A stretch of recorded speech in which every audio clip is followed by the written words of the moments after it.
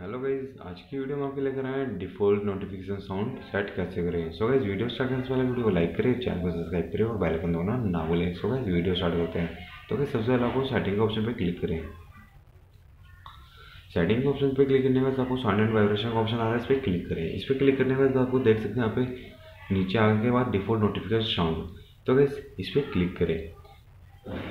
इस पर क्लिक करने के बाद आपको देख सकते हैं यहाँ पे हमारी कई सारी डिफ़ॉल्ट नोटिफिकेशन साउंड आ गई।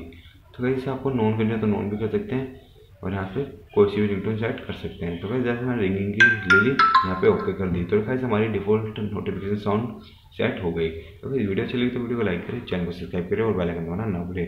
थैंक्स फॉर वॉचिंग वीडियो मिलते हैं नेक्स्ट वीडियो में। Tata bye bye